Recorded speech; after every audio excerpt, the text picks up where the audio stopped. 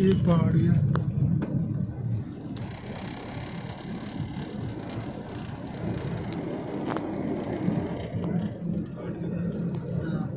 इधर उधर मध्य प्रदेश में है सर जी पहाड़ों काट के बनाया